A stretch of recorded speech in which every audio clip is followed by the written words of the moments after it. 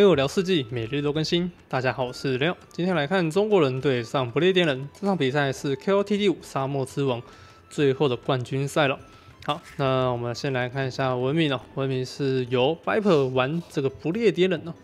那不列颠人的话，他的优势哦，一开始是吃养素是非常快速的。那他的工兵呢，在城堡时代是可以加一射程，帝王时代是加二射程。呃，到了帝王时代，再加上这个银冠的技术，义勇骑兵，好，那再加再加上这个自己的长弓兵的精锐升级哦，可以高达十二射程的弓兵哦，就属这个不列颠为最强。那不列颠呢，在城堡时代啊，还可以盖 TC 的时候有半价的优惠哦，这个木材消耗量非常少啊，所以它可以更早开出三 TC 开农。但是，一样还是要注意这个漏量，很容易玩不列颠的新手们哦，很容易三 TC 开下去，然后就断村了，因为农田都忘记撒，不然就是来不及撒，哦，造造成断村的可能性哦，是蛮常见到的。那后期啊，还可以点发点这个战狼号，那这个战狼号最强大的地方是它有这个爆炸范围效果，哦，看起来是命中率一百 percent 哦，实际上实测是一百 percent 没有错，但是我们的影片哦，就是有出现过。这个战狼号研发完之后，对不动单位居然打歪的情况，所以我们不能再说它是一百趴 percent 命中目标是九十九 percent，这世界上没有所谓的一百 percent 绝对的事情啊，包括游戏里面也是哦，居然出现了这种变动，但也不知道是什么问题哦，可能是刚好那个影片就出现了啊，这个几率极小的极小的概率发生的事情啊。所以战狼号的话，还是可以把它看成是一百 percent 没关系哦，但是我会把它看成九十九 percent，还是有那么最小的几率有会打歪的可能性。好，那我们就来看一下对手选的是中国人。中国人这个文明很特别，一开始村民数非常多，但是他的食物会减两百，木材是减五十。呃，一开始村民加三，所以现在村民优势哦是黑蓝会多个一村哦。那有一些比较厉害的玩家会甚至多快一到一半，呃，一村半左右，快快到两村哦。那正常来说，这种比赛应该还是多一村就已经很厉害了。好，那它的这个中国文明呢，基本上是全能型的，不管是你要打步兵啊、工兵、骑兵哦，都是很 OK 的。而且它还有骆驼可以打，虽然没有游侠可以打，但是它的这个重装骑士跟轻骑兵哦，用起来是蛮实用的。而且再配上自己的中国连弩，再将这个火箭血攻击可以再加二，然后还有大冲车，基本上可以把它当成匈奴来玩，冲车配强弩。啊，冲车配中国连弩，然后再配战矛、骆驼，哦，骑兵，哦，什么都可以打。所以中国来说，在不管遇到什么情况，都是一个不弱的选择。但是它的开局非常复杂，不太适合新手去玩。那如果你真的想要玩中国开局的话，那记得要先收村，然后记得盖一栋房子，然后把羊放到 T C 下之后，赶快吃肉，然后吃肉之后，赶快去放山羊肉进去 T C 里面，然后有武士肉之后，按下第一村。前期的这个操作就是这么的复杂，所以我真的不太建议新手去玩中国这个文明了。好，但真的要玩的话，就娱乐玩也没关系的啊，玩的开心比较重要。好，那黑狼这边是选择了三木开，他这一场并不是二木开，还是他刚刚也是二木开哦，他这边围完之后才变成三木。OK，那我能理解。那他的开局方式还是偏向二木，然后早期吃肉，急速上封建的一个做法哈。好，那这边村民数可能会再多个一村，变成二十批以上。什么？哎，这个感觉中国玩起来就没那么极限了哈。上城堡赛时间，是因为鸵鸟比较晚找到的关系啊，看起来好像有点像。好，这边赶快吃肉。上到封建时代的时候是二十批，那这边 Viper 是十八批哦。那两边上封建时代差不多，但是中国却多了两村哦。哇靠！我们刚才说一到两寸啊，结果他这边是直接领先两寸，太狠了。虽然时代稍微慢了一点，但也才慢个一两趴，好像没什么大碍的感觉。好，那这边羊吃的有点哩哩啦啦，但没有关系，赶快去补一下木头跟这个果子后面的伐木。这个伐木要赶快补下，不到九个人是八个人。或八到八九十这三个数字都可以，就是不要尽量超过这个数字，因为你一超过这个数字，很容易木头会爆炸量，量会太多，然后导致你的村民不够去撒农田。那我觉得九个人应该算是中间值是最好的，八个人有时候会觉得太少。好，中国这边点下了封建，那这里还不确定要打什么，现在军营也没有下，现在木头量也不够。好，这边先补一个军营。好，艾普这边看起来是要打工兵。好，那看起来黑拉可能会下射箭场，然后围死开农。啊，这个应该比较适合现在 Viper 的一个打法，因为它这张地图金框在里面非常舒服，哦舒服的。那后后方的果子也是哦，没什么太大问题，基本上不用跟对方硬碰硬。那如果这边 Viper 直接打一个强军士开始前期骚扰的话，这边也很简单，少量的毛兵挡一下就好了，哦，甚至也不用按照伺候，因为它这个地形真的算偏好。然后这边再补个城门啊，然后这边直接围死。好，你看 Viper 这边变成过去的黑拉，以前都是 Viper 是在家里农，然后黑拉在一直外面晃，一直想要想办法打进去。现在角色互换了，好，急躁的变成是 Viper 了。Viper 已经现在输了四场比赛了，哦，再输一场，这一场再输掉就要 GG 私密打了啊！所以他的心态可能出现了一些变化。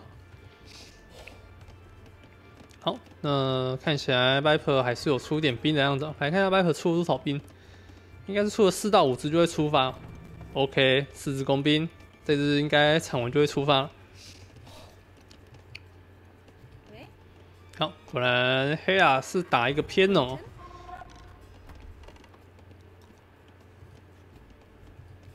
好，挖一下金矿，这里连射箭场都不盖，太偷了，偷到一个不行。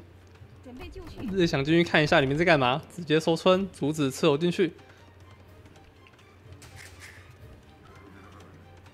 好，黑亚的资源量非常经济，城堡时代，你看这个不盖射箭场，偷了这么多农田，真的是很夸张哎，太过分了！哇，然后 Viper 这边工兵又没出去，又没给对手压力，自己可能也已经停工兵了吧？等等停工兵，然后转农，然后也要打。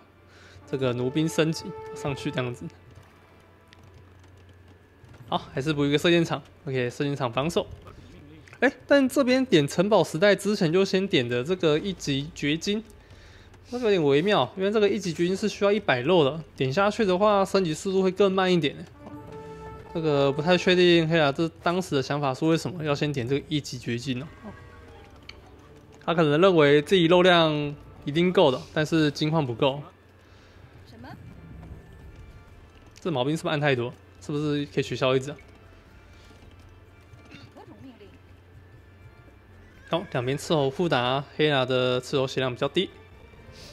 好，这边稍微收寸一下，收肉。好，可以点一下城堡赛。这边停下来，Viper 没有继续打。哎，怎么都按了一寸？他干嘛？没有下兵工厂？干，我就知道。哈哈哈哈我想奇怪，他是不是没有下？我我以为他左边下嘞，结果没有啊！哇，尴尬，这边升级时代慢了一点点，但刺头可能要被换掉喽。再一刀，好，这边想要勾引 Viper，好，Viper 知道对方已经升城堡了，赶快也把自己家里围死。Viper 这边出了九只哦，九只工兵是不是？八只，看下 Viper 有多久才才晚上？大概慢三十 percent 了，还能接受，并没有到非常晚。好，这只村民出来之后就可以点了。好，这名工兵出发。那黑亚这张地图基本上就可以算是天图了，以打分数来说的话，就是一百分哦。这个不用讲，这个太好了，果子也在里面，金矿也在里面，小小缺憾是石头在外面，但还不伤大雅，因为待会上到城堡时代，T C 往外盖。哦，或者直接这里直接拆根建塔也是可以的，没有什么太大问题。那 Michael 这边则是虽然也算是不错的图，至少也有八十分左右，但他这金矿偏外侧，就比黑拉烂了一点，至少八十分啊，没有到满分。而且它围的范围也比黑拉大了一点，花的资源也需要更多一些，所以这个是一场八十分对上一百分的地图。好，那黑拉这边圣奥斯老师在打法应该会偏向于工兵开局。那这场比赛我也不知道结果，到底是谁输谁赢，然后打法中间过程我也不知道啊。这就是为什么我一直没有去看直播或者去看赛事哦，我不想被剧透。所以我也只能猜测两边两边打法到底在干嘛。好，普利点，Viper 这边待会还是要升弩兵。这边其实法兰克不是法兰克，不列颠可以补一个马厩，然后直接去出骑士哦。因为通常大家都知道，不列颠打弓兵几率很高的。呃，应该是有抓到黑拉这边心理哦，出了一些毛病哦。这边转一些骑士出来哦，是比较好的。但不列颠骑士有个问题哦，它是没有品种的，所以血量来说会稍微少了一点点。但它有跑速跟三级防，所以其实还算蛮能用的。好，这边工兵升到弩兵需要点时间。这边三 T C 开弩吗？双 T C 地上 T C 可能会往前盖，盖这个位置或这个位置都可以。或者直接开左边，这边直接出去开，好，不是开这个位置，这个位置有点尴尬，因为这是上坡，上坡是不能不能盖 T C 的？嗯，好，果然出了一只骑士，好，骑士直接前压，那这边毛兵就只能回家。那如果这边反打，僧侣一定要出来招降一下骑士。那这边 Viper 工兵已经驻扎在这边修道院附近了，这边僧侣一出来可能就会被射死。好，僧侣直接找个机会出来。OK，这边躲掉剑士。OK，毛兵直接反击，僧侣直接招降骑士，骑士人退，不能打。好，这边就只能被压制打。哇，还直接被招走，What the fuck？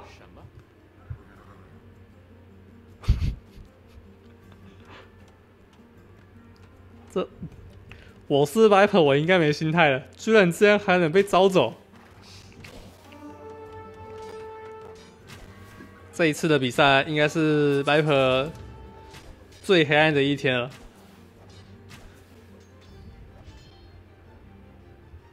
哇，要再被招一次！快跑快跑！OK，这次跑掉！哇，我我已经不知道该怎么讲了。这一场，Viper 应该心态蛮炸的哦。好，那有没有刚刚开三 TC 呢？完蛋，没开 TC。哦呦，下方开一个。那要不要补个大血？不列颠有弹道血的话非常强。哎呦，这边直接砸了一个大碗的，这边大坨的战矛兵直接砸死。哎呦，还砸掉了这只僧侣。哇，，Viper 突然靠一台头车打了回来啊！骑士、僧侣、战矛兵直接解决掉非常多的数量，而且还阻止了黑拉把这个圣物捡走。那家里要补一下修道院吗？你开始出一下僧侣。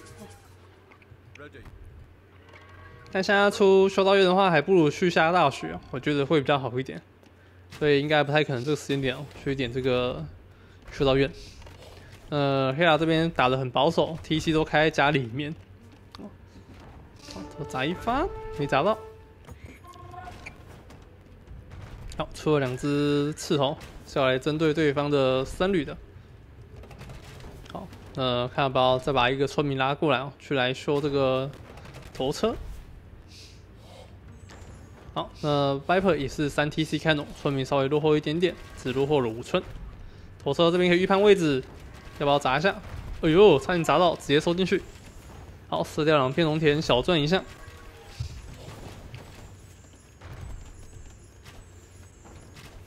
Viper 第三个 TC 开在哪里啊？有点好奇。等下有空的话回去看一下。好，这边再砸掉一座农田。好，第二台拖车补了过来。这个 Viper 应该继续砸这边就好，他太想砸这些战矛兵了。这个战矛兵在调戏他，打到，哎，有可能被换掉，真的不拉村民来修吗？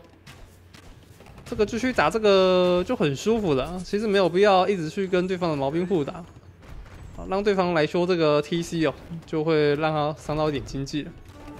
大家可能觉得一直被毛兵调戏很烦，笑死。异次元战毛兵，太秀了吧！黑啊，哇，开始有点喜欢黑啊这个打法，太好笑了。没想到前世界冠军被调戏成这样子，这是改朝换代了吗？哇，好秀好秀，各种收，耶，砸到了，终于砸到了。但已经赚了大概十几发的头车的伤害了，要不这十几发都砸到这个城城镇中心上，就要花很多资源来修了。哦，甚至已经爆掉了。好，但里面已经在囤骑士喽，双马就里面囤，第三个也补上。好，这边打算来骑士爆一波，二房好，品种好，就会直接冲出去了。但时候，但这时候黑拉并不知道里面有什么。好，这个 T C 能砸掉吗？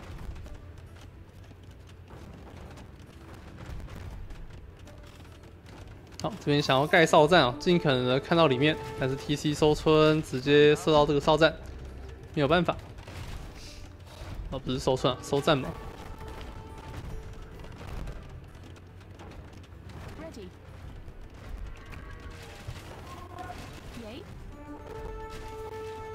砸，没中，继续秀。好，射死一村，但是村民数差不多。但我觉得 Viper 的处境是非常危险的，里面骑士数量越来越多，大概将近十村，是吧？十二只至十五只骑士就可以冲了。如果再更保险一点，十七只是最好，十七只二十哦。但是黑拉等不到那时候，直接十一只出发，比我想象中的还要少。这边头车砸一发，哎呦，还是砸到一点血量。头车要是能砸一个大碗的。就很有机会，这边分两队非常好。好，这边还是砸到一点血量，工兵直接撤退。头车能砸掉很多战矛吗？没有办法。骑士直接杀出来，三台投石车直接爆开，弩兵直接开始往后拉走。说明这边也要撤退，这边做一个拉打，但是不列颠没有拇指环，所以这边射速会比较慢一点。现在被追着打，应该是会被全部吃完的。这看起来不太妙。好，Hyper 工兵数量来到了非常少的数量，只剩下十三只，但对方骑士也只剩下三只，在正在追击，后面还有几只少量的，想要把这个盖大学的村民直接全吃掉。哇，这个大学没有盖好，有点小亏。好，但至少这边骑士全部解决掉了，这边可能要第一大学，嗯，低掉了。好，好，后面再补一个 TC，TC 只要木材半价非常便宜。这边可能要再补一些射箭场，赶快来报一下这个工兵数量。好，直接盖城堡出长工兵。好，这个确实有料。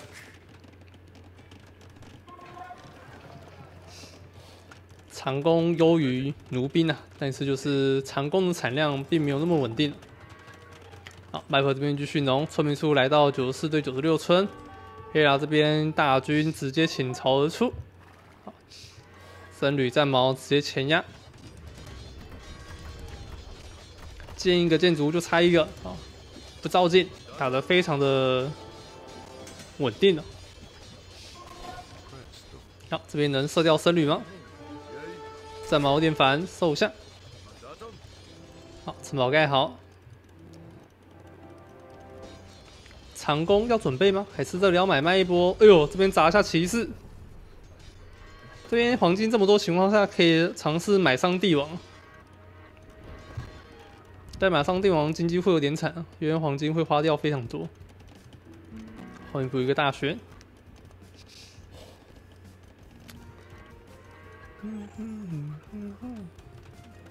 哇，城堡没有出长弓，那要怎么打呢？中国这边骑士继续爆，十四只。好，那中国这边可以考虑转一堆战矛。配骑兵，加上战矛的路线，啊，这里是不是有洞啊？有有洞哎！好，白牌的工兵一直在家里防守，但数量很少。其实他这边骑士杀过来，很容易就直接挂掉了。但这边黑拉是绝对是想要跟他打农的状况。这边还补消弹道学，难道要打一些工兵路线了吗？直接转战矛硬 A。好，那不列颠打战矛兵有个细节哦，就是它可以把这个头侧升级为中头，长弓配中头其实是一个蛮不错的搭配哦，但是很怕对方骑兵哦。那这骑兵过来又要直接包抄，哇靠！Viper 这边波兵可能要全部被吃掉，Viper 这边完全没办法逃跑，工兵只能眼睁睁的全部送光。这里还没有展出长枪兵的关系，对抗骑士完全毫无招架之力，工兵数量也没法累积起来。只单靠一个城堡似乎是有点难守下这一波的。好，这边黑蓝也没有照进，还是选择撤退哦，赚到甜头就跑。好，这里补下更多试验场，两军营。好，剩下长枪兵。好，艾会意识到现在他直接冲过来会直接爆掉的。帝王时代是由黑拉先研发好，村民上两边都差不多。这边是经济五五开的一场较劲哦，但黑拉这边分数领先非常多，非常神奇，领先大概一千二吧。哇，好，直接升强弩吧，强弩先升上去。好，这边还在弩兵，还没按强弩，资源不够。这边这边可以盖一栋城堡，但黑亚也在野外盖一栋城堡。这边尝试想要从外侧入侵进去吗？好，这边重装骑士已经在升级，三防也点下。这里骑士杀进去巴普可能会被杀个措手不及。工兵要补到六兵还没有办法。而且这边连强弩升级都还没有点下，这边是先点下了化学，这里可能还要再补一栋房子，去争取更多的时间。骑士硬砍大学砍爆，直接入侵了进来，但城堡也已经好了。OK，这边把对手黑狼逼退了回去，相当不错。依照以前黑狼的个性，应该会直接冲进去硬打一波的，但这是这一次的黑狼非常的沉着冷静诶，哇！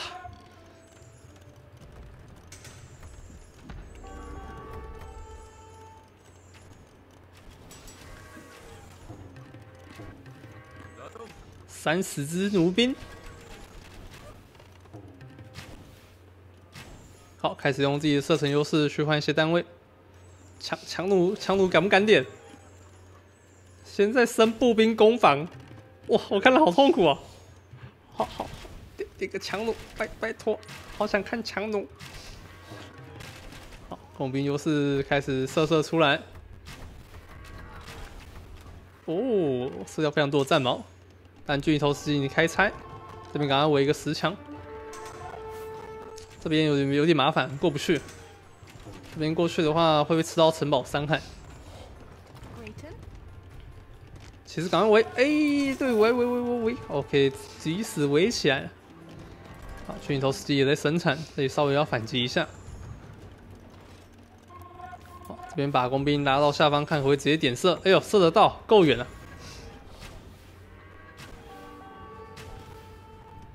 哎，修得回来吗？来不及，直接被射掉一排。好，这边工兵直接往后拉，原阵往前。这边直接原地开射，不列颠长弓的优势，不不是长弓，不列颠工兵优势直接打了出来。这边直接直上骑兵啊，而且步兵的三防也点好了，但是弩兵还没有升到强弩。这里可以卖点木头吧，然后点强弩了。哇，先点义勇骑兵。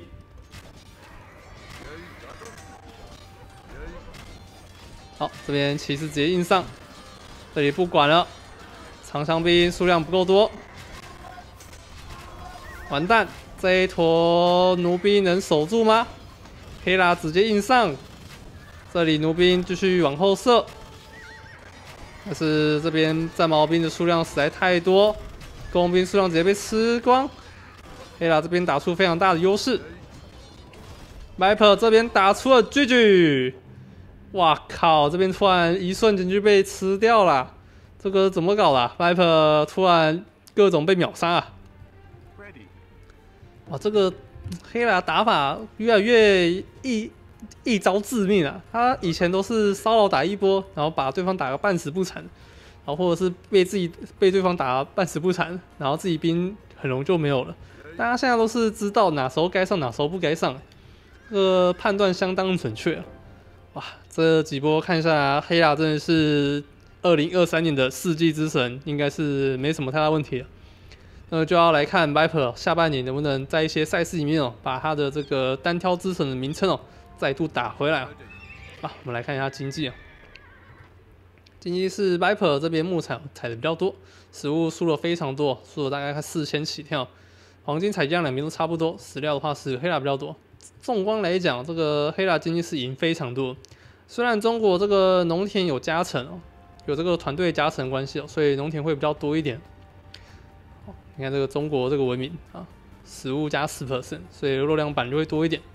但是这边黑的搭配很好，战矛兵配上骑士哦，骑士确实让 Viper 的这边弩兵哦会没有办法那么好发挥哦，坦度够，而且后面又有战矛，基本上打什么都有点坦哦，而且只要情况 OK 的时候，直接进去里面一波带走这些工兵的话就没问题，因为毕竟我们常常在讲不列颠的最大问题就是它的正面硬扛的能力是不太好的，因为没有拇指环，射速很容易射输人家。虽然射程有优势，但是只要一打正面的话，没有足够骑兵扛住正面骑士的话，长弓兵跟弩兵还是很容易被吃光的。